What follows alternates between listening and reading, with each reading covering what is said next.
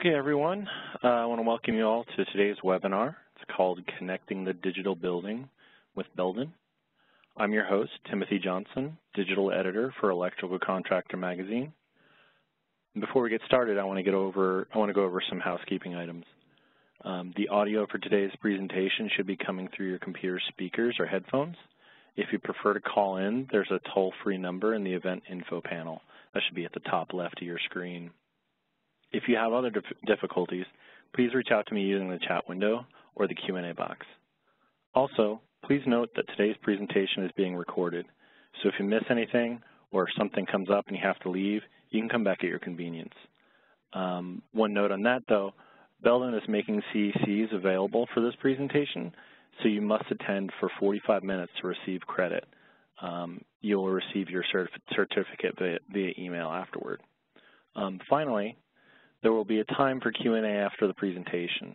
So if you have any questions, please submit them through the Q&A box or comments in the chat box. If you're having trouble finding those features, hover your mouse over at the top of your screen. A control, control panel should drop down, and you should see those options there. Now we're going to start the show. Our presenter today is Ron Tellas. Ron is a Technology and Applications Manager for LAN at Belden. He represents Belden in the ISO WG3 Committee and TIA TR42 Premises Cabling Standards, and he serves as the editor for the revision to TIA TSB 184, uh, Guidelines for Supporting Power Delivery over balanced twisted pair cabling. Uh, Ron has a Bachelor of Science degree in Electrical Engineering from Purdue, a Master of Science degree in Electrical Engineering from Illinois Institute of Technology, and a Master of Business Administration from Purdue. Um, I want to thank everyone for, for attending. Now I'm going to go ahead and hand it over to Ron to get started. Ron? Thank you, Tim. And thank you to Electrical Contractor Magazine for inviting me and the Belden team to present to your audience. I'd also like to uh, thank the Belden team, especially Lisa and Amanda, in their help in putting this together. So at Belden and across the industry, the concept of digital building has emerged in which many previously separate network systems come together to support all the functionalities needed to support an entire enterprise building. With this transformation comes new processes and challenges needed to connect the digital building. So we're going to go over what the uh, a brief uh, section on digital building evolution, take a look at some new deployment strategies that would be helpful uh, in digital building, also the connectivity options, what, what's going on in the standards to help uh, the uh, connecting the digital building, and then finally wrap up. So let's get started. Let's look at some of the uh, factors going into the evolution into the digital building. I hope you learn a lot from today's webinar. At a minimum, I would like you to understand the basic concept shown here. There are trends in the industry that are being enabled by advancements in technology, and that has led to the transformation to, of the digital building. So there's trends of, uh, of the cloud, IoT, and IP convergence. That's being enabled by PoE and wireless, and overall the outcome is digital building. The trend to the cloud. We all heard of the cloud. The cloud is where applications and data reside and we connect to it.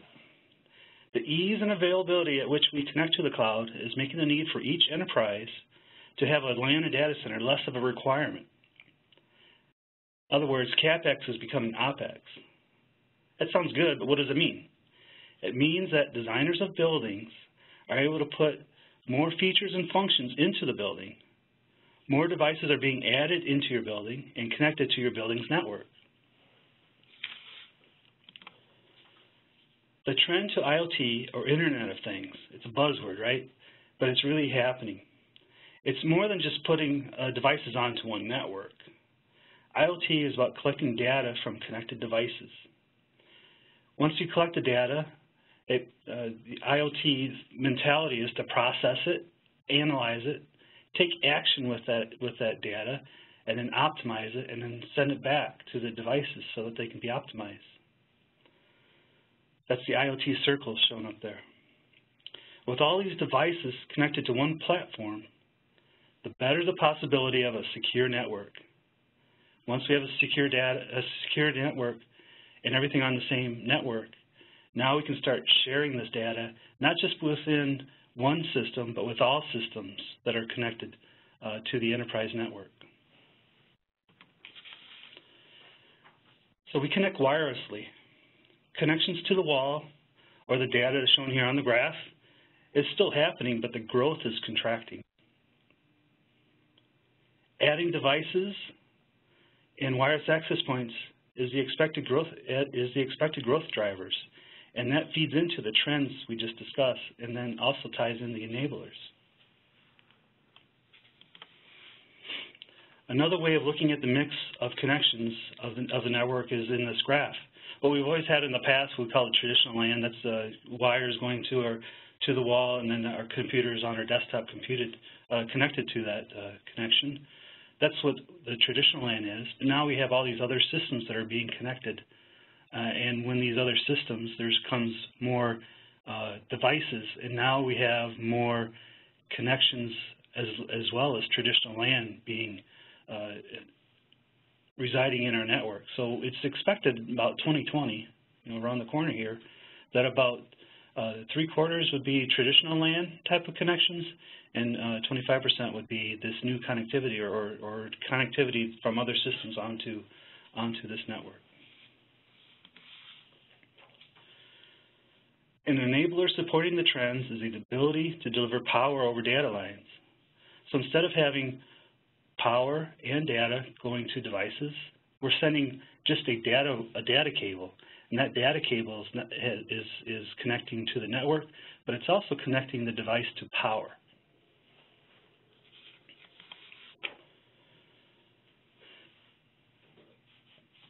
So here's the uh, kind of where we stand uh, with uh, with PoE and the new the new standard.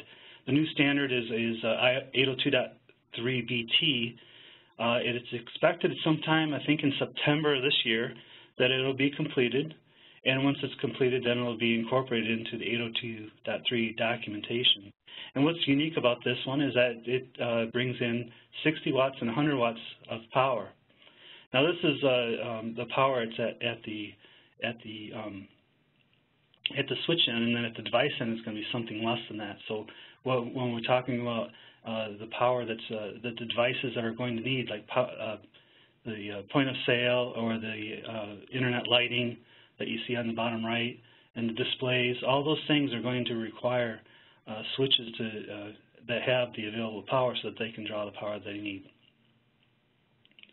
So we're going to have, uh, there's lots of acronyms out there. There's POE, there's POE Plus, there's POE Plus Plus. It gets, there's so many acronyms uh, that it's, it's a bit confusing. And we kind of settle on just looking at the power delivered by the switch and call it type 1, type 2, type 3, and type 4. And type 1 is what uh, has been out there for, for many, many, many years, is 15 watts of power. Type 2 is the 30 watt. That's the the AT type of standard that's uh, that's out there. And then Type 3 is the 60 watt, and that 60 watt has always been out there before the standard is ratified uh, through the the Cisco U, UPoE type of solution. And then we have this 100 watt, uh, which we call Type 4. So just to kind of bring some clarity as to when someone's saying PoE++, plus what are they talking about? You know, it's, it's really better to kind of look at the type of Uh, power that the switch is providing. So taking a step away from the market forecast, let's see what's really happening. Last year, BSRIA, which is a marketing research firm, they pulled over 270 consultants and designers. And they asked, what have you installed in the last 12 months that utilize PoE? The number one answer was wireless access points. That was not surprising. But what was surprising, at least to me, is that uh, this uh, bigger chunk uh, being laptops and LED lighting being next. So it, it's happening. It's uh, it's uh, it's moving along, and in fact, some in some cases, they're actually not deploying AC power. They're only using the data cabling to power the devices, and that's what's shown on the right with this pie chart. Is PoE replacing traditional AC power, or is are you installing, uh, you know, both the data lines and the AC receptacles? And 28% on the bottom on the bottom uh, right there are saying that they are replacing data lines with PoE instead of deploying uh, AC outlets. So that's kind of proof that you know all these things that have been talking about is really happening out there. The other uh, technology that's uh, helping to enable the trends is wireless is wireless uh, speeds. So the wireless networking speeds are increasing. There's uh, currently we have 802.11 AC and it's called Wave 2 and that's able to give us pretty good throughput. Um, if you're the sole uh, user of that access point, you can get somewhere up in the uh, realms of uh, 7 gigabits supposedly of throughput. Um, it's going to be a little bit lower than that, obviously, and then as you put more users on there, shown in the red line, more and more users starts to bring that throughput down. So we have this other uh, technology that's being developed to help that out, and that's what's called high-efficiency Wi-Fi. High-efficiency Wi-Fi is 802.11.ax, and it's meant to be the way to increase throughput in dense situations. And what they're doing is bringing in this technology of uh, multiplexing users in frequency, which is called OFDMA, and they're also multiplexing users in space, which is multi-user, multi-input, multi-output, or MU-MIMO. And then they also have this higher order modulation scheme that's working out. So it's a lot of, a lot of uh, um, technology that's been used a lot in the in the uh, in the cellular domain uh, is being brought into the Wi-Fi, and that's what this is about. So what does that really mean is that instead of what we had before where we would uh, uh, look at trying to make sure we had coverage over area, we are now going to have to look at coverage for throughput. So we're going to want to have more uh, access points in areas where there's more people so that they can have the throughput that's needed. Now, uh, 802.11ax will help that, but I'm understanding too that uh, as more people use the uh, AX technology, especially if with uh, calling over Wi-Fi, that they're going to want to be closer to the antenna. So that's going to probably mean that we're going to have more uh, access points than before being deployed.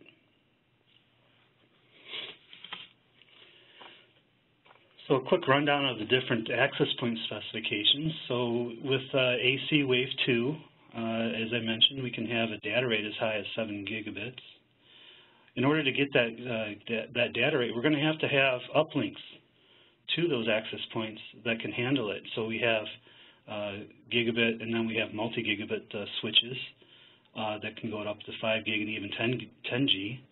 And uh, depending on how fast your switch is, you might have to have one or two uplinks uh, to these access points in order to make sure that you have the, the, the capacity on the backbone back to your network to connect all your wireless users.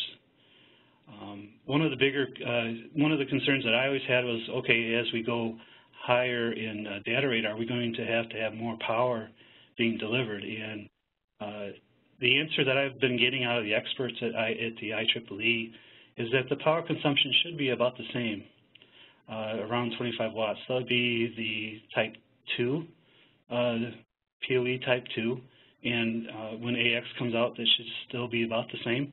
But again, there might be other solutions where they, they need more power, but that's the, that's the expectation.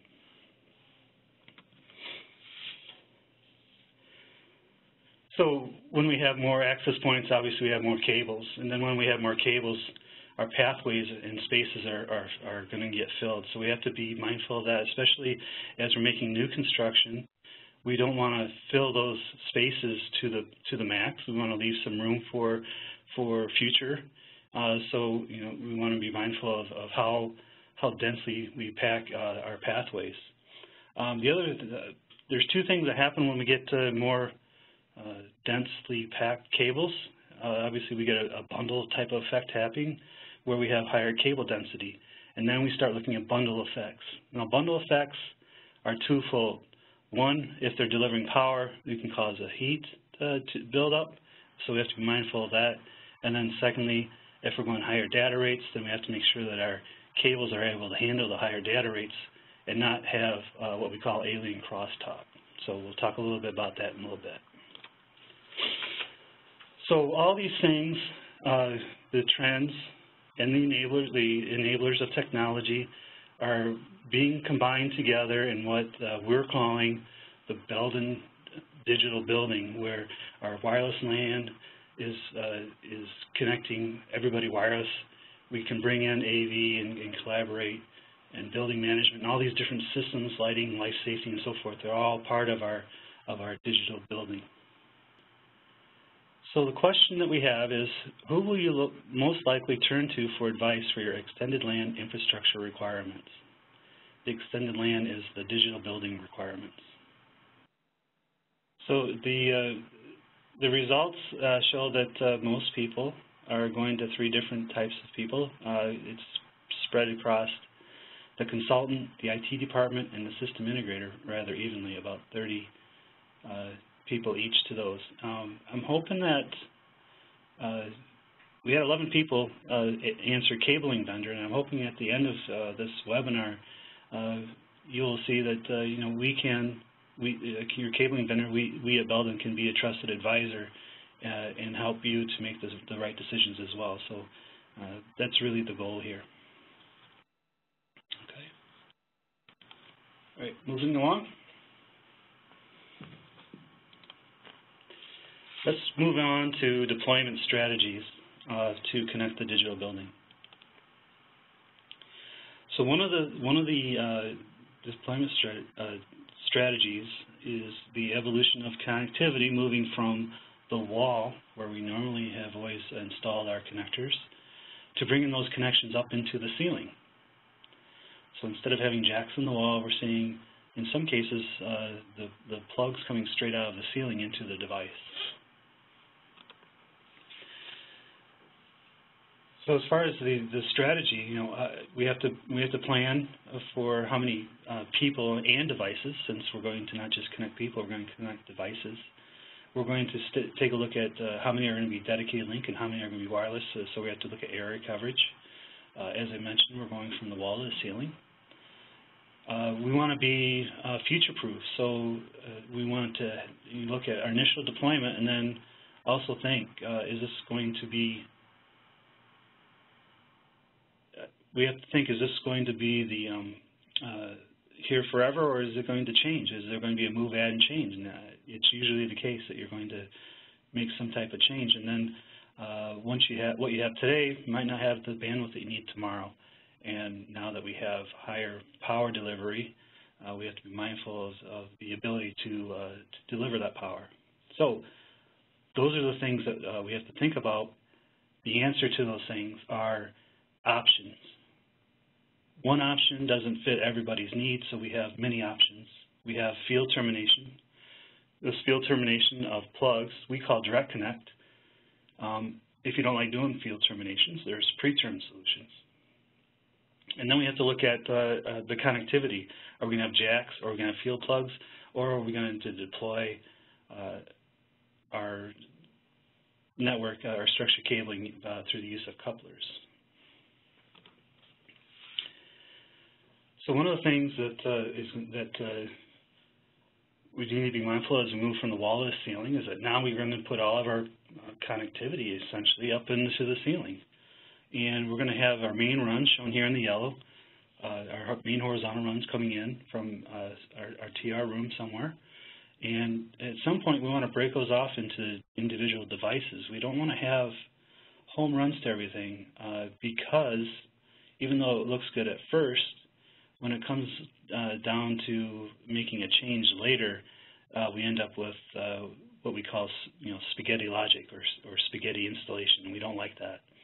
Uh, it, make, it makes things messy, and it, uh, management's very uh, cumbersome. So we still want to stick with the structured cabling approach, and one structured cabling approach is to have consolidation points using zone boxes. That's what these white rectangles, squares are in the in the ceiling. And from that, we can distribute, uh, have some kind of connectivity and then distribute off into uh, our end devices from there.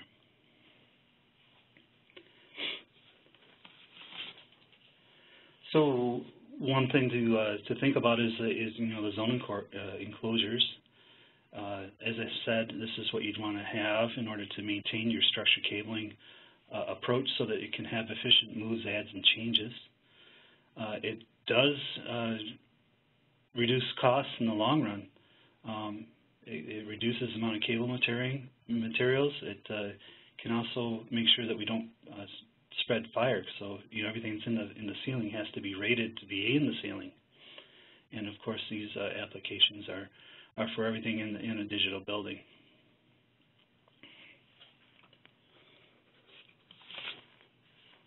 So let's look at some connectivity options. As I mentioned, you know, we're going to go up into the ceiling, and the ceiling is often the plenum space. What is a plenum space? A plenum space is a part of a building that can facilitate air circulation.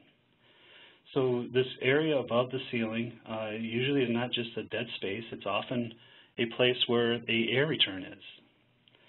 Um, for that point, we want to make sure that uh, the products that we put up there can, do not uh, uh, condone or, or, or advance the, the, the, the, propagation of any type of uh, smoke or, or flames and so forth. So we have to have plenum rated cabling. I think we're all very aware of that. But there's also uh, something that not everybody's aware of, and that is the connectivity also needs to have a rating called UL2043.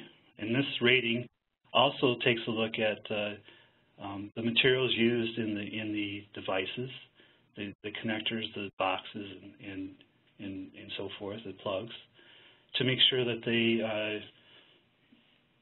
also don't uh, um, help any type of uh, fire that could occur to, to spread.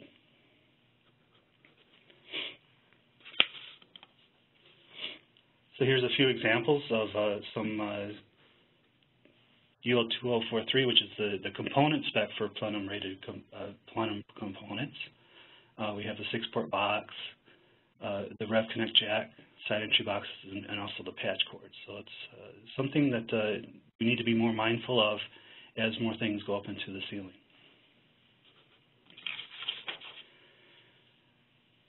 I mentioned before uh, that uh, some instances, some installers want to go, instead of having all these uh, components up in the ceiling, they want to just bring that, that horizontal cable straight out of the ceiling and, and into the device. And that was, uh, that's a little bit uh, new because it's not the traditional way of doing things. Well, the reason uh, being is that there was no way to really understand uh, if you in, in terminated a horizontal cable with a plug, was it in, was it installed properly? Uh, there was no way to test it because the field testers would would uh, omit that connection from the test. So we took that on in the standards. We took that on and said, hey, this is what's happening. This is what people want. This is, uh, there's no re re reason why we can't. This is still a structured cabling approach. So we, we uh, came up with a direct connect uh, topology where we take the horizontal cable and we can uh, install a plug right on the end of that horizontal cable and that plug can go directly into the end device. The benefit of that obviously is less components. That's one benefit that, that, can be seen, but also now we have plenum going straight uh, we, we, maintain our plenum rating all the way uh, to our end device. So in order to do this, you obviously have to have a plug that uh, is able to be installed on the horizontal cable. And there are, uh, there's always been plugs around. I've heard it called ice cube plugs. So it's those clear plugs that you see on patch cords. And yes, you could take those that, uh, from your local hardware store and install them onto a, a uh, horizontal cable. Uh, the problem is that you're going to have uh, some issues because those plugs were not designed to be installed onto that specific cable. Um, the performance is going to be hindered, and also there might be a, a case where uh, uh, the plug that you uh, was that was that you pick up might have been only intended for for stranded wires, and horizontal cabling is typically solid. So the other option is to go to a PCB type, which in that case it kind of separates the performance from the cable and it's no longer dependent on, your, your plug performance no longer dependent on the cable, so because it's all taken care of in the PC board inside the plug.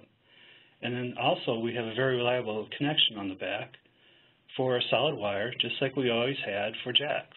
And that's kind of what the benefit is of going with a with a PCB type of plug shown on the right. The other uh, reason why this is important on plug performance is that when we put a plug onto a cable, it's got to be centered in a certain range for NEXT. And if uh, if we take a random plug and put it onto a random cable, we may not be centered. We might uh, be too uh, too low in performance or too high. Either way, we could fail the NEXT. With a PCB type of plug, we're always centered, and uh, we're always going to make sure that we have good passing crosstalk performance.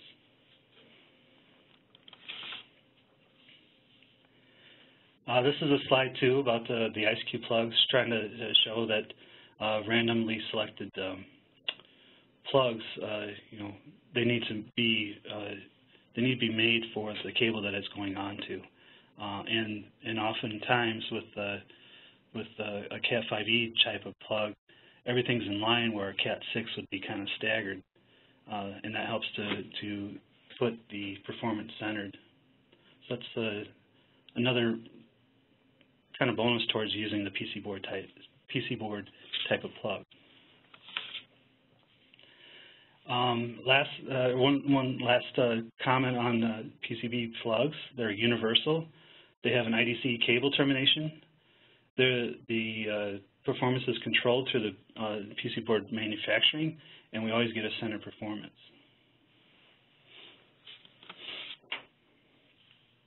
Another uh, deployment strategy to consider since we're going to digital buildings that we're probably going to have some of these devices going outside of the building, shown here with like a security camera on the side of a building. So once we go outside, we have to have a cable that can handle outside. And that cable is called a, a, an OSP or outside plant type of cable. So with an outside plant cable, uh, if we were to uh, uh, connect this uh, security camera to, with an OSP cable and bring it in to our building, we have to terminate that connection within 50 feet of the entry of the building unless, unless it's rated. Okay, so if you have a rated OSP cable, which is uh, can be very beneficial with the digital building, you can take that termination from the out, all the way from the security camera through the wall, past the 50-foot uh, requirement that the NEC has, all the way to your TR room if needed because it's rated for not only the um, outdoor with the CMX, but also the CMR uh, or, or other type of uh, listing needed to go inside a building. So that's another thing to really kind of consider.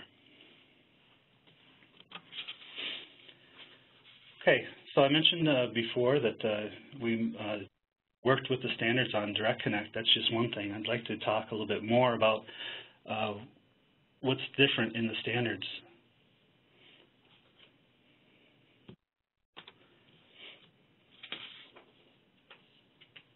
So we're shaping the, the shaping. Uh, uh, sorry, the standards are being shaped. They're being shaped through uh, new uh, TSBs. Those are bulletins put out by TIA uh, that uh, help give guidance for new new type of technologies or deployment strategies. We have LP, we now have LP rated cables. That's a, a new type of rating from, or listing from the UL. Uh, I mentioned Direct Connect. In the standards, it's called Modular Plug Terminated Link. So Belden, we like to call it Direct Connect. In TIA, they like to use a lot of uh, fancy words and the, in acronyms, so it's called an MPTL. But Direct Connect is, uh, is, is the same thing. Um, we've always uh, had standards set up to have 26 gauge patch cords and horizontal cabling. That's 24 and 23 gauge, uh, some in some cases 22. We now have uh, the uh, standards being set up. It's going. It's coming for 28 gauge patch cords. Uh, so I'll talk to you about that. And then lastly is this uh, concept of single pair structure cabling, which is uh, something new for for the enterprise market, but in the industrial market, it's always been there. Kind of brush up on that. So I mentioned TSB, so there's a TSB, uh, TSB 184A. It's uh, something I'm very familiar with, as mentioned before. And this is really Uh, if I could give it its own name, I would say, what happens to the cable when it gets hot? But it's really the guidelines to support uh, up to 100 watt PoE for, for cablings. And it's really talking about here about the bundle sizes that we have to be mindful of. Uh, the bundle sizes uh, are limited uh, to make sure that um, they don't go over the jacketing cable rating. In the standard, in the TIA standards, we like to keep everything at 60 degree or, or, or, less. So the guidance in here is assuming that most cases is 45 degrees C ambient, and then the bundle size that would give us a 15 degree rise on top of that would be the limit of how, how densely packed we can have those cables. Uh, I mentioned also that uh, when we go higher data rate with that bundle, there's another thing we got to be mindful of, and that's called alien crosstalk. And there's uh, another technical bulletin, uh, TSB, that's uh, that uh, is, which is a telecommunication systems bulletin that addresses how to use your existing cable plant for 5E and you know existing cable plant of 5E and Cat6 for these multi-gig switches, which is called 2.5 gig and 5 gig base T. So in this uh, in this document, it kind of uses the uh, alien crosstalk as the background noise and comes up with this risk assessment. So there's a risk assessment in here for category 5E. There's also a risk assessment for category 6.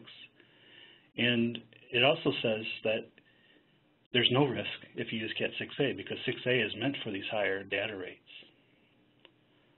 So before we just say, yes, you can use the uh, cable plant that you have, you have to be mindful that that's, uh, that's uh, comes along with risk, and it's really for a brownfield type of application. Uh, if there's any new installations, we obviously want to go to Cat 6A so that there is no risk associated with these higher speeds that, that, uh, that you're going to uh, need in your, in, to connect all your devices and people. The UL and the NFPA created a new cable rating for the safe use of cable. It's called LP rated or limited power cabling.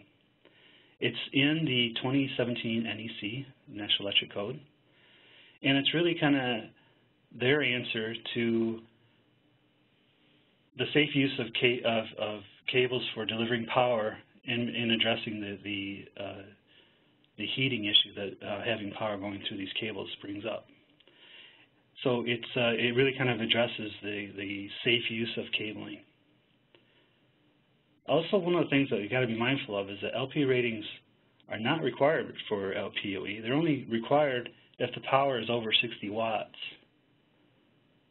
or if you don't uh, control the bundle size. So if you can, if you go over 60 watts and you can control the bundle size, then then you don't necessarily need an LP-rated cable. But if you're going to go over 60 watts and you're not sure about the bundling size uh, going down the, the length of your of your cable plant, then you might want to consider LP-rated cables. So this is a very busy slide trying to summarize everything that's uh, there is about uh, LP-rated cables. Um, again, this is what uh, it's about cables carrying PoE the heat up. That's kind of the gist of the whole thing. And, and within the NEC, there's a there's a table I'm showing here. That's table 725-144, which is in the National Electric Code, and it says if you're over 60 watts, you and uh, for certain gauges of cables, you have to limit the number of cables in that bundle, depending on the amount of current going through those cables. It's a very confusing cable or a table, um, and there's a caveat in there that if you're under 60 watts, you don't have to worry about it, or if you think you're going to go over that and you're not sure, then you have to go to LP-rated cables. An LP-rated cable is only LP-rated cable if it's listed, if it's rated, if the um, print legend says LP in parentheses the current. So the example given here is CMP, so that's our cable rating for plenum, and it's a limited power cable uh, for 0.7 amps. So it can go up to 0.7 amps and make sure that the jacketing temperature is not exceeded. That's that's what it uh, that's what it means. I gave a curve on the left to give you an example of how the temperature rises for a Cat6 cable and a Cat6A cable. This cable has 500 milliamp per conductor or 1,000 milliamp per pair uh, going through it, and the bundle size uh, goes from 0 uh, up to 150, and you can see that the Cat6 starts to get uh, hot uh, faster than the, the, the 10 gig solution. And the 10 gig solution actually can go up to somewhere around 200 and some before we have to worry about that 15 degree temperature rise.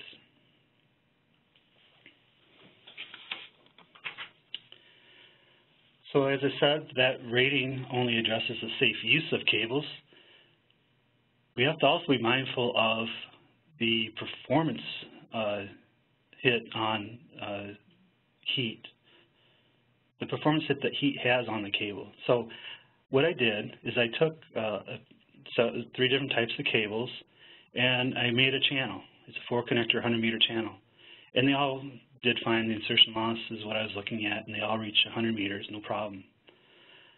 So what I, what I did after that is that I heated up the cable, the horizontal cabling in the middle, up to 60 degrees C. That's to simulate a cable in the middle of a very large bundle uh, carrying PoE.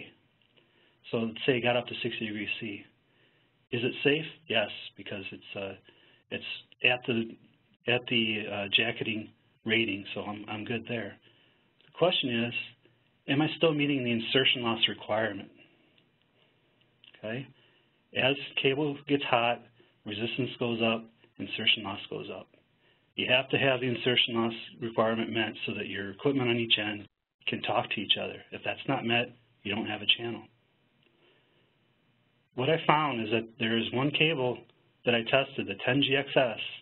Once I got it up to 60 degrees C, it could still meet the, the 100 meters requirement. Now, I tested other uh, Cat 6A cables, and I, I, I, never, I didn't see that 100 meter requirement. So that's something to be mindful of as you deploy your PoE systems. Does your manufacturer uh, able to support 100 meters uh, if I was to uh, reach that, that 60 degree mark?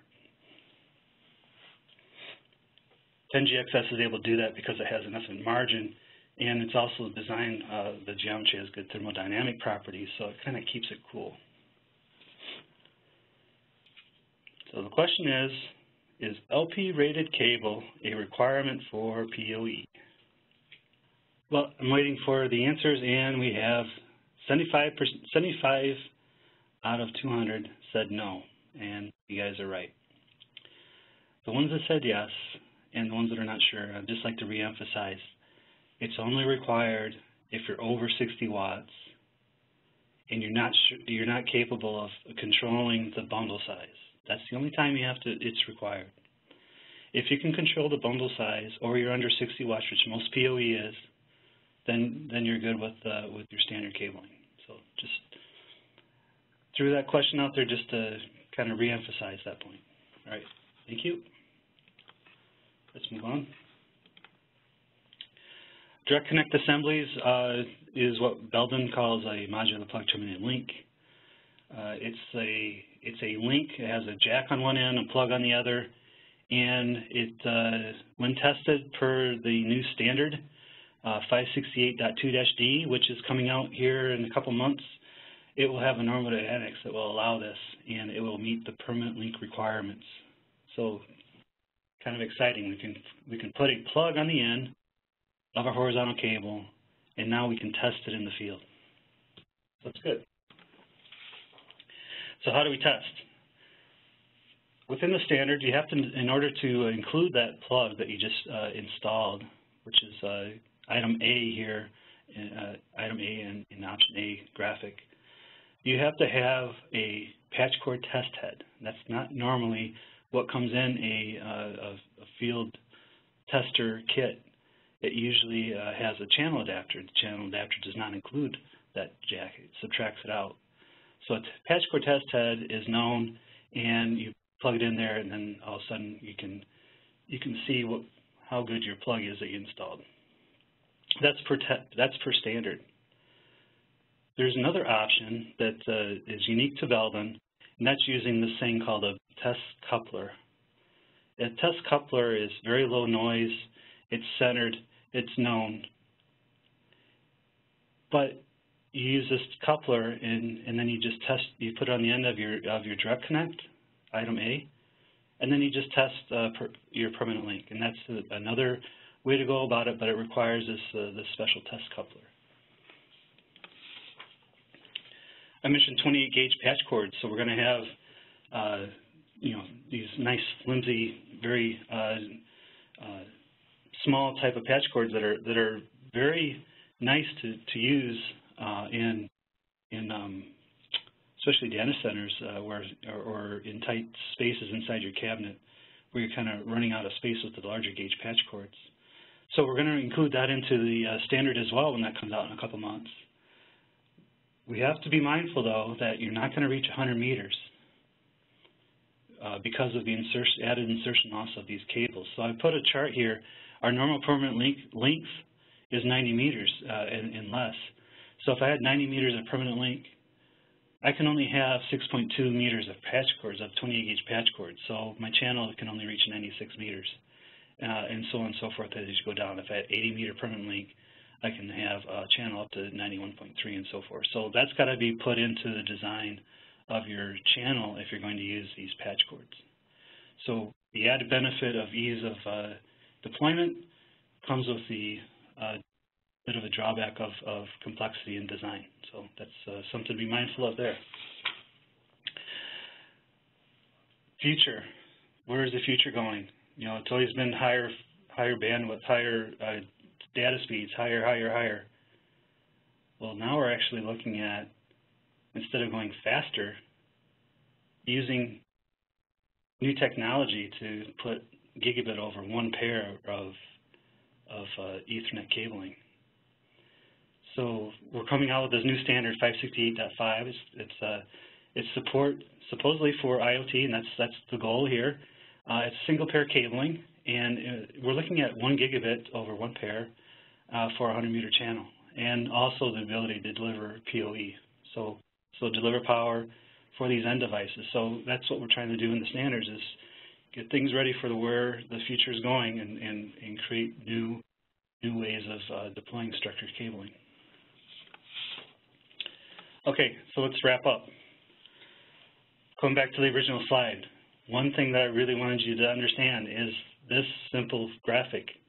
There's trends out there cloud, Internet of Things, and IP convergence that's happening because technology advancements in PoE and wireless. Those things combined are transforming our buildings into what we call the digital building. So applications are demanding higher bandwidth and reliable cabling is designed to support these applications not only of today but also tomorrow. So what we need to look at is a cable system with integrity so it'll lay out the foundation for your most reliable and efficient IT infrastructure. So here's our recommendations uh, as a whole. Uh, we want to go, things are going high uh, multi-gigabit Wi-Fi, so we're supporting data rates going from 1 gig to 10 gig.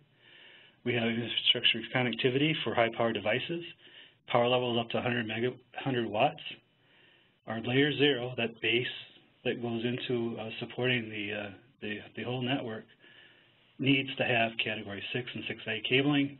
And then we also have to consider new deployment options of zone cabling and direct connect, and also uh, something I didn't mention here, which is the the, the green effect or the LEED cert certification, which uh, we are really working hard to make sure that we support everything for the digital building on that. Thank you very much for listening. Uh, we'll take a little bit of time for question and answers. So, Tim, I'll turn it over, over to you. Thanks, Ron. Um, that was that was really informative. Um, so we've got a bunch of questions, and I'm just going to take them in the order that we received them. Um, looks like we got about 10 minutes, so I think we should be able to get to all of them. Um, so I'm just going to roll in. Uh, the first question is, um, is testing direct connect with a test coupler allowed in the TIA standard? Yes. The reason I say yes is that even though it's not explicitly called out within the standard, what is called out is a permanent link test. Permanent link test has been there forever, and that's really what this does. I'm adding in a component, and when I pass the permanent link requirement with that component in there, which is a test coupler, and I take it away, I know that I'm going to be better than what I tested. The other thing, too, this test coupler is very low noise. It has very, very low return loss and very low uh, in, in mated uh, NEXT performance. So it's not going to be a factor in your overall uh, system uh, headroom. Okay, great. Um, so the second question, um, can I have a 100 meter channel with uh, 28 AWG patch cords? You can. There's one way to do it, and that's to violate the permanent link requirement. The permanent link in the standard says that you can only go 90 meters. That's, that's the maximum length. If you were to extend that to something like 94 meters and then put your 6 meters on there, then you'd have a 100 meter channel, but then you have only a channel, uh, something that meets the channel requirements. Your components would not meet the component requirements, so your permanent link would not meet the permanent link requirement. But overall, your channel would work. So there is a way that you could you could fudge the system uh, to do so, um, but you'd have to design that in. Okay. Um, can I install Cat5e cabling for the use with multi-gig switches? There's nothing that says that you that you uh, can't, except that uh, there's you're you're you're you're bringing in risk uh, in doing so. And when you put multiple 5 gig cables together and you run these higher speeds on them, the, the, the data is going, the, data rate from one is going to leak onto the other one. And it's going to be more noise that the um, system can't control. It doesn't know how to subtract that out of the system. So you're going to essentially ratchet down from your higher speed to something lower so that your signal noise ratio is somewhere that can be operable. So um, it's not recommended for that reason. And it's that recommendation is not just from cabling vendors, it's also from the, the vendors of the equipment. They, they actually state that when using multi-gig switches on greenfield, on greenfield uh, sites, use Cat6a so that you're, you're good for, for forever, not just good for today. All right, next question. I think this was in regards to slide 11. Um, will this still be considered a low voltage connection? Would an electrician be needed or can structured cable folks still install these solutions? Can we go back to slide 11? Sure. So the question is in regards to uh, the slide on POE, is it happening? Yeah, that's where I saw the question where I made the note. Um, do you want me to read it again? Yes, please. Sure. Will this still be considered a low voltage connection? Would an electrician be needed or can structured cable folks still install these solutions? Hmm. Um, so I'm not sure if this is the right slide, but anyway, I'll go. I, I try to answer the question as best I can. So anything considered low voltage, it's it's, uh, it's it has to be less than 60 volts. That's what's called out in, in the NEC, and that's what's called safe electrical low voltage, a SELV. If something is less than 60 volts, it's not considered uh, life-threatening uh, if it uh, is is not installed properly, and also there's no way to not install it properly. So when you have POE and it's it's it's less than 60 volts, then that that that's uh, considered SELV, low voltage, and and that's what uh, um, kind of puts you into a different uh, group of installers that are putting in your data cabling, as opposed to a group of installers that are putting in your electrical uh, conduit and, kind of, and wiring for for AC uh, purposes. Okay. Um, this one uh, I wonder if you just may want to uh, have anything comment. The, the question was, um, have you been part of any smart city or smart village projects globally? I've been on certain projects. Um, I personally have not been on any kind of uh, cities or or, or um, villages. Um, the projects that I was that I was on uh, dealt with. One of them dealt with uh, the deployment of uh, data cabling to to deploy uh, LED lighting throughout a throughout an office space. Um, they were also uh, putting in uh, the wireless access points for wireless uh, connectivity and also some other devices that they're doing for for their for their security cameras and so forth. So, kind of my personal experience is a little bit piecemeal. I have, uh, but I do know that we have other people that have been involved with the whole thing. Okay. So, yes, I'm Belden, partially for me. Okay. Um, are all jacks, plugs, and faceplates plenum rated? And this uh, this person says they know the answer, so I think they just want to test you. well, a faceplate is not normally uh, in a plenum, so uh, I would say no. Um, those are usually uh, in outside the ceiling. Most jacks and plugs uh, are not plenum rated. They have to go through a, a certification for that. Uh, so it happens to be that some plugs can meet both, but they have to be listed on the outside in order to show that they've actually been tested. So hopefully uh, that's the answer that the, that they had. Sound pretty good to me. Um, next question is, I noticed that the 100 watt PoE utilized four pairs. Does this mean data and power use the same conductor? Yes, it does.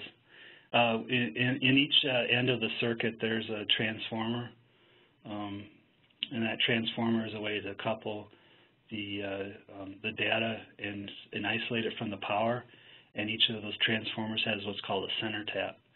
So on one side uh, is the data; it goes through that transformer or, or uh, um, uh, mag jack, and then on the other side of the mag jack is the is a center tap, and that's where power is brought in. And there's there's a, there's a similar type of connector on the other side, and that's how they're isolated within the circuit. So um, probably more than what you wanted to know as an answer, but yes, those, those four pairs are delivering data and power uh, at the same time. All right. Um, how can we install Cat6 or Cat6a cables in order to keep the temperature normal? Seems like a loaded question. There's no way to keep it normal what you have to what, what you have to do is install it, and the best practice is not to bundle it, but everybody likes to bundle to keep things neat. So if you're, and, and especially in racks, uh, or in, especially in racks. Um, in racks, uh, it's usually not so bad uh, because, um, well, I guess it, it, could be if you had a, a closed environment, but uh, that initial bundle eventually goes and it gets spread out, and once the um, usually in a pathway, uh, the bundling stops and, and, it becomes a little more random, and, and things become uh, a little cooler. So to really answer your question, limit the bundle sizes, and if you have bundles, keep them separated. If you can keep them separated, then each bundle acts independently and, and doesn't uh, doesn't add up to be one big bundle. And that this, guidance is uh, given that guidance is given in TSB 184A. Okay. Uh, this next question, I think you, you may have answered it uh, just in the last part, but the question is, um, if you're over 60 watts, LP is still not needed if you control, quote, bundle size, correct? That's correct. If you're over 60 watts and you can control your bundle size, LP rating is not a requirement. Okay.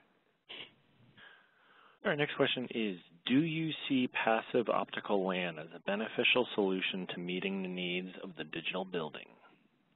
I sure do. That's uh, an, another another strategy that uh, a lot of people are using, especially in hospitality, um, in uh, some in healthcare and so forth. So, uh, passive optical networks are a, another way to uh, to support the digital building. Um, at one end, you have an ONT and OLT, and the other end you have an ONT, and that ONT is the network terminal, and that's where you would spread it out uh, to your individual devices. So eventually you do have to have uh, copper going to your end devices. So what I talked about today would certainly still pertain on that. And then before that would be the, the fiber part uh, between the two equipment heads.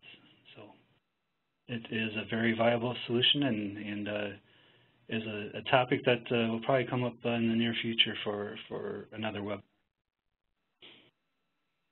Okay. Um, is Plenum uh, U.S. standard? How does LS, LSZH apply? So yeah, Plenum CMP is a, is a U.S. standard. Over uh, in Europe, um, they have a different uh, a different way of uh, of looking at things, and, and it's about um, it's the low smoke zero halogen is about uh, making sure that when when you're if a cable is, is uh, in a fire uh, environment that it doesn't produce halogens. Halogens is what you know is bad for us. Uh, we can't breathe, and, and, and would kill us, uh, type of thing. So over over in Europe, they're more worried about the the um, the halogen content of those flames, and then uh, within uh, states with the plenum rating, they're more worried about making sure that the um, the flame doesn't propagate. So it's kind of a balancing act there. Um, so they're they're not the same. They're different, and it's really by by region of how they want to maintain uh, making sure that their buildings are safe. Both ways are, are keeping the building safe. It's just different codes. All right. We are uh, we're at three o'clock, and I want to be respectful of everyone's time, so I'm just going to do a couple more questions. Um, looks like we're not going to be able to get to everybody, but um, we may be able to follow up um, after the presentation. Absolutely. Um, yeah. So, uh, in a critical environment such as a hospital or surgery center, how is a switch inside the zone box powered in a redundant way? Is a DC power plant in a nearby TR the best option? When you get into a hospital, we have to worry about uh, about um, it's it's more than just plenum rated. Uh, that's where we have to get, uh, be mindful of uh, the what is it called the hermetic sealing of. Uh, so we don't want to have any air going from one from one unit to the other type of thing. So that's a whole different ball game. Um, so I, I, think that would, that question would be better if I followed up in an email to get all the right uh, inputs because it's a little more involved than what I talked about here. Right. I also like to add that if we, if we don't get to everybody's questions, I'll follow up with everybody on an email to make sure that all questions are answered. Okay. Uh, let's see, I'm just looking here.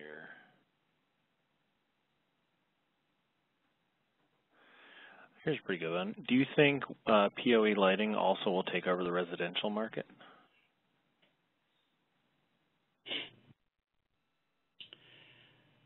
That's a good question. I've often thought that myself, especially when I'm sitting in my house looking at where I'd like to have different lights. And if I had data cabling, I know it'd be a lot easier to do. Um, Right now, where it's being deployed most is in office spaces and also in retail.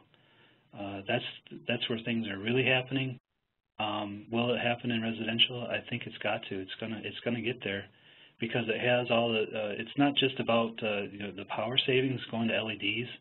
When you're talking about LED lighting, it, you're talking about being able to control the environment in the way that you like, and really where do you like to have things best, and that's in your home. So I, I see no reason why it wouldn't go into residential.